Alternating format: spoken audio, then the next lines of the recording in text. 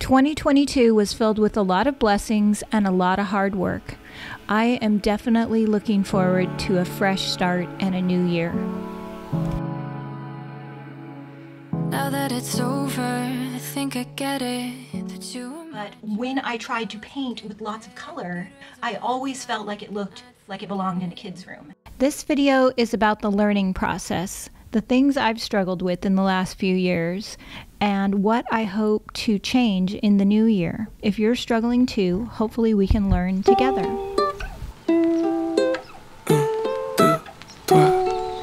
Find a little spot in the shade, pink lemonade, pink lemonade. I feel like I just learned how to blend recently. Everything is going my way, pink lemonade, pink lemonade. I have always loved color, but I have struggled with creating a style that looks grown up. And it's not that blending is super duper hard, you just need to know what you need to know in order to have success. Before I start a new project, I usually look for some kind of inspiration, whether it's a fellow artist, Instagram, or this pillow on my bed. Elon Musk, find a little spot in the shade. I wanted to mimic the print on my pillow. I started by using some painter's tape and I gave a base coat to one portion of the dresser with Hey Sailor and the other portion of the dresser with White Swan. It's important to give your piece a good base coat. It's kind of like priming the surface. You also want to let that base coat sit for at least a few hours, if not overnight. This will create the foundation to blend on. If you don't do this, it's a lot harder.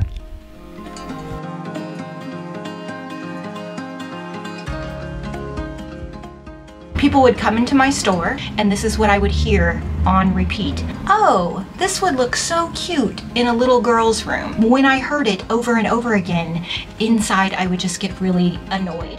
Sometimes I feel like I make the furniture too precious and I don't want to mess it up. So I decided to create some blending boards so I could practice and have a reminder of how the colors work together. I took a couple pictures of my pillow so I could refer back to them as I created this. This purple color is a mix of Kissing Booth and Hey Sailor. It's helpful to use several different brushes, one brush for every color and some neutral brushes to blend the colors together. Also want to note that there's nothing wrong with creating beautiful things for children. I just wanted to create things that I would put in my own home. Debbie, this is all you can do is stuff for little girls. I wanted to be a grown up artist and I just kept trying to tweak it. In the beginning, when there were only a couple brands of furniture paint, most people were painting with neutrals. I think soft neutral colors are a lot easier to make look elegant and sophisticated. I have many friends like the IOD sisters and Jami Ray and others who just love neutrals and their style is so pretty. Sometimes I feel like they're rolling their eyes at me because I just love color. I mean, they're always really nice and really respectful, and this is probably something that is just me in my own head. But I often think that my life would be easier and maybe my videos would get higher views if I painted with white and tan and gray. But that's just not what um, makes my heart race, and I can't get enough of color, but it's been a struggle, as you will find out. To create the flower print on the pillow, I rolled out some paper clay and I used stamps to make an impression. I don't know at this point if it will actually make an impression, no pun intended, but I wanted to try it. I'd never done it before and I knew it could end up looking really bad or maybe good. So I'm just rolling it out, cutting the edges, eyeballing it, winging it, stamping into the clay. The clay does shrink up a little as it dries, so at this point I'm a little nervous. One day I'm scrolling through Instagram and there is the turquoise iris and she has this beautiful, colorful buffet and it just looks so just grown up. This woman is using all the colors and I wanted to paint like that. That is what I had been trying to do for years. I think this mold is called the Laurel mold from IOD. It helps if you lightly dust with cornstarch before you put in the paper clay. I'm using this mold because it creates a border around the rough edges of the stamped clay. I'm using Aleene's Tacky Glue. You can get this at your local craft supply. It's non toxic, it dries clear, it's very strong. You want to glue your molds down while they are still wet. If you wait for them to dry and then glue them later, they curl up and you won't get an even flush adhesion. So I, there is a video that you can watch called the Salty Kiss Finish where I really tried to get Dionne's look and I sort of got it, but man, I was spending way too much time and way too much effort and getting about halfway there. DIY paint is different. The clay has dried overnight, and you can see here where it has shrunk in some places and created gaps. So I'm going in with some more glue and little tiny pieces of clay to kind of fill in like wood putty. Sometimes I swear. If you think about watercolor paint, oil paints, or acrylic paints, and how different they are, and how the methods are very different for getting good results, it's the same with furniture paint. It really depends on the formula. Just like if you go into the grocery store and you're looking at the bread and there is sourdough and there is wheat and there is gluten free, if you lined up all these paints, they all have a very different formula. Now that the clay is dry, I'm painting over it with white swan. Even though it doesn't change the color very much, it primes the surface so I can blend pigments over the top. mustard mustard. DIY paint is very unique because it has just nine ingredients and it is mostly pigment and clay. So it dries really fast, but it cures really slow. You can water it way down and reactivate it weeks later. Way too long. You can get it to blend like a watercolor if you spray it with water, but it has the richness of an oil paint because of all the pigment. I painted the stamped clay with a coat of white paint and let it dry so that I would have a primed surface to add the pigment. If I were to add pigment over a surface that had been sealed or was slick, the pigment would slide off. Just dip your brush in water and then dip your brush in the pigment and apply to the chalky, porous surface. Spray it and blend it. Shortly after that, she created a tutorial. And then I called her up and I asked her if she would like to come to the DIY boot camp and teach a workshop on blending in real life.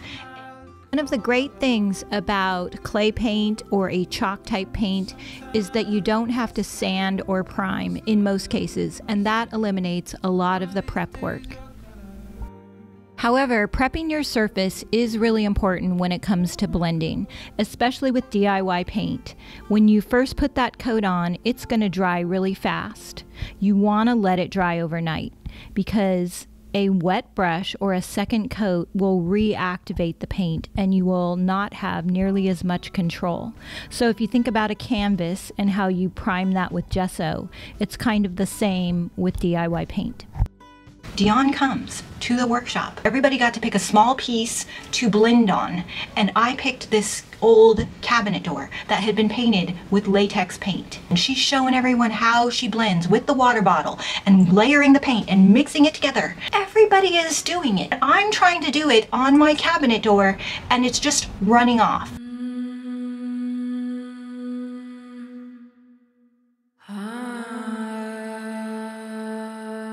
I didn't know back then was that the slick latex surface was making it impossible to have any kind of control. I thought that I was just a bad painter because I didn't know, and everybody else seemed to be doing it.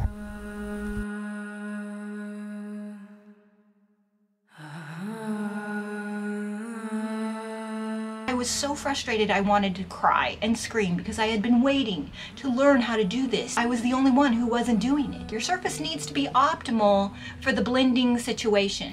If you are familiar with furniture transfers, you've probably heard that it's best practice to apply a sealer over the paint, let that dry before rubbing on the transfer. If you don't, then the paint can come up and stick to the back of the transfer and you have wasted your transfer. Having said all that, I will tell you that 99% of the time, I never put on a sealer before rubbing on a transfer. Again, if you let the paint sit for 24 hours before rubbing on a transfer, most of the time it will go on without a hitch. So if you think about an adobe house, DIY paint adheres really well because it's mostly clay, but you can still reactivate it with water if you haven't sealed it. DIY paint doesn't have any levelers or chemicals or anything in it that's going to create any kind of barrier. The main thing about this paint is that it is mostly pigments and clay and therefore you can water it way down. You can paint inside, you don't have to wear gloves. I love you. Another reason why I don't put a sealer down before I put the transfer on is once you add that sealer, everything is locked in and you can't change it anymore. You can paint right over the transfers and then add a little bit of water and pull that paint off the transfer. So, this gives me a lot of options. I love DIY paint because it's mistake proof. You can add water, add more paint, blend, and keep working with it until you're happy with it. Nothing is written in stone until you put that sealer on.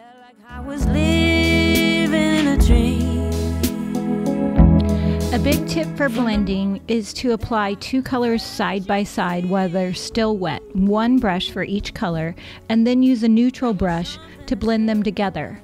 Make sure your brush is going in all different directions and use the water bottle to spray the paint and get the two colors to form a new color. I'm blending paint right over the top of the transfer. Then I just take a damp rag and wipe off the excess paint to reveal the transfer again. Dionne has taught me many things since that first workshop four years ago. She's always saying, play with the paint, experiment, you learn by doing, and she is right. Dionne and I are teaching a paint workshop on January 20th in Boerne, Texas. Our workshops are designed to provide encouragement and fun, and hopefully to give you the courage to try new things. My blending kind of looked like stripes and I wanted it to look like fluffy clouds. But for some reason, it just never dawned on me that you actually need to move your brush up and down and across and maybe around it's just in different directions to get those colors to harmonize. It really helps to think of your furniture like canvas art. I usually wait until the very end to use the pigments for the details. I like to think of them as powdered sugar on a donut. If you use the pigments too soon and then you end up painting over it, it's going to swallow up the pigment because our paint is so heavily pigmented.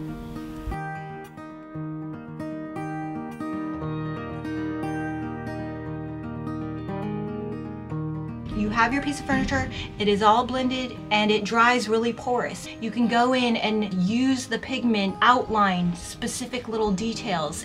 The pigment is very forgiving because you can spray it with water or you can get your finger wet and soften up the blend and it is like the powdered sugar on the donut.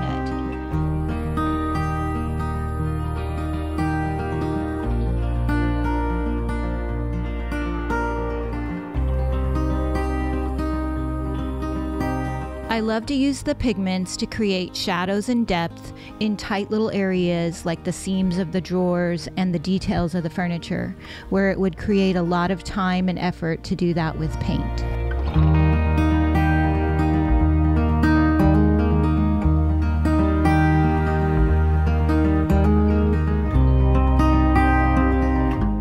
Because the pigments are easily reactivated, I will let it sit again overnight so it just kind of bakes or cooks in, and then I will go back the next day with the wax. I'm definitely attracted to things that are fun and whimsical, but I also really love things that look painterly, moody, dark, and bohemian, and it has been a journey to try and find the balance between the two. Many artists describe the creative process as a push and a pull. I definitely feel that every time I make something. Now I'm adding the gold wax over the clay molds. Even though I'm not happy with the way the project looks at this point, gold wax makes everything better. I always start with some kind of inspiration. It helps me focus and get started, which is often the hardest part. But at some point, you have to let it go and go with your instincts. That gives me a starting point and it gets rid of that frozen stage fright feeling when you don't know where to begin. I feel like beginning is often the hardest part. This is the point where I step back and analyze what I've done so far. I'm not liking the stark white against the deep colors on the other side of the dresser. So I mixed French millinery with a little bit of kissing booth and I'm going through and I'm softening up the white and giving it a pale lavender color. I love white. I see so many people painting with white and it's beautiful. My mother loved white, but every time I try and do it, I end up painting over it. I meet people in real life. I often hear that they think my projects start off looking like a hot mess and they have a lot of doubts as to whether it's going to work out. I feel the same thing.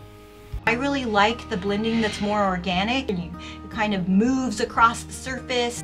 At this point, I'm concerned about the markings from the previous hardware, so I go back to the clay and try and figure out a way to cover those marks up because I'm going to use a totally different knob. I think we may be on the wrong side of Pasadena. Every time I try to problem solve or I get a new idea, I feel like it's risky because at this point I've invested a lot of time and I've used a lot of materials, and I'm telling myself, Debbie, this could be good or it could ruin it. And I have to fight with the battle in my head. Do I try it or do I not? I'm gonna count my blessings like I never dropped out of school. I'm gonna give Once I apply the gold wax, I'm starting to get happy and excited about the project, but I still have those big holes and the marks from the previous hardware.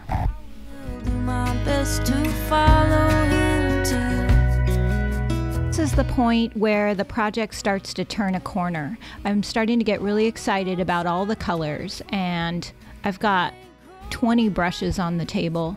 I usually end up with a whole bunch of brushes because I don't want to stop and take the time to wash them. I just keep going with more pigments and more shading. I'm having fun at this point. I'm in the creative flow, but I'm also totally ignoring the fact that I have a huge problem to solve.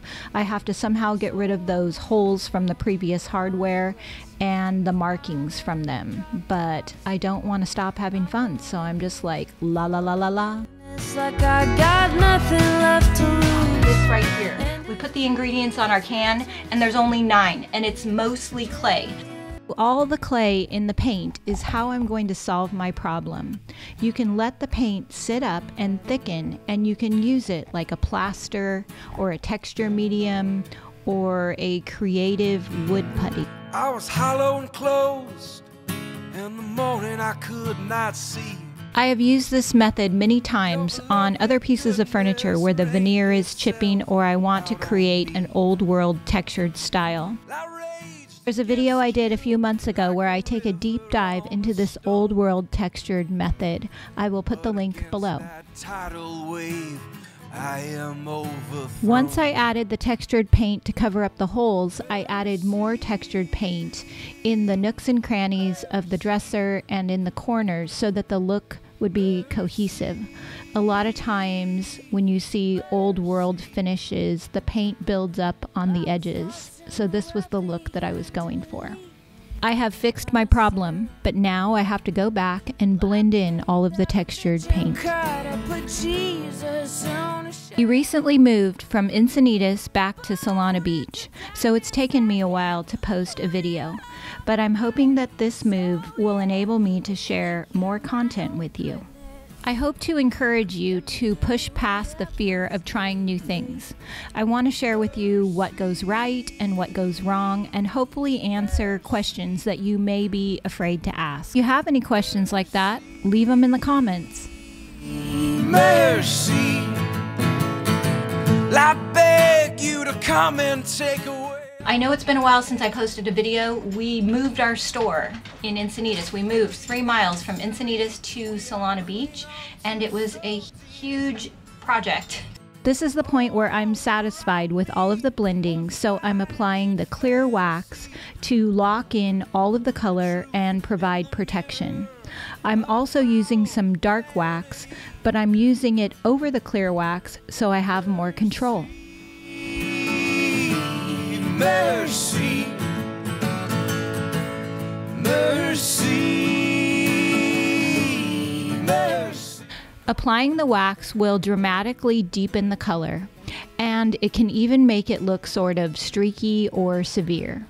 Let that wax dry for 24 hours and then go back and buff it with a soft cloth. It will buff up to a beautiful buttery sheen. The white wax and the dark wax can be used to create even more depth with your project.